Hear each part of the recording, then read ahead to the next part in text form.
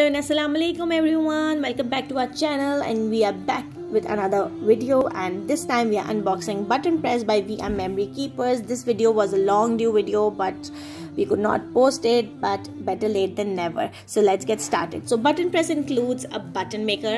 Uh, it in includes uh, cutting inserts adhesive foam. It has a small medium and large press inserts circle dies of this small medium and large. And it also has dip pieces to make small buttons medium buttons and large buttons. So now let's get started so now we are attaching our cutting inserts which are magnetic and then we will move on to uh, using our circle dies of small medium and large size. They have a blade inserted inside so it cuts the perfect circle size for us to make our badges or buttons or whatever decoration you want to make.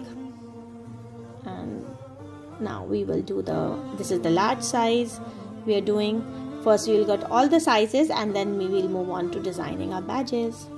Now we're going to insert our small press inserts. These are all magnetic so they fit well with the fit perfectly well with the button press and uh, see like this.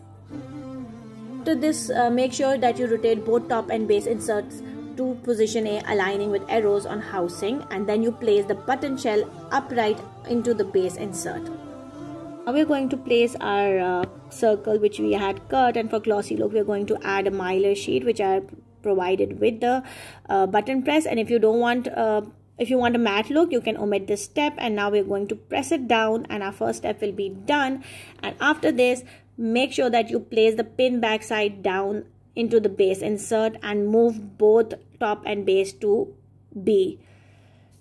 And then press it hardly down and see the magic happen ta-da! Our first small badge is ready. Now let's move on to the large one. So for the large one we are going to repeat the same step. In this one we are going to be using a printed paper with a sticker sheet. And now we'll just see the magic happen for this one we are going to try using the adhesive foam on the pen so it doesn't move and these come with the button press. And let's see how it comes out. Here you go guys. Here are the badges and they look super adorable and we we are in love with these. And we tried denim and it came out really good with that button press. Hope you like this video. Don't forget to like share and subscribe. Bye. Allah hafiz